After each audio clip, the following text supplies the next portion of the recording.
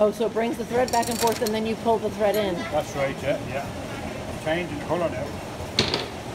Oh, so how many strips of the yellow do you do before you switch it out to a different? Uh, it's, uh, 35, 40, 40 threads. so- 40. Right, yeah. And you just pop it back in, huh? Yeah, yeah. And now we're going pink.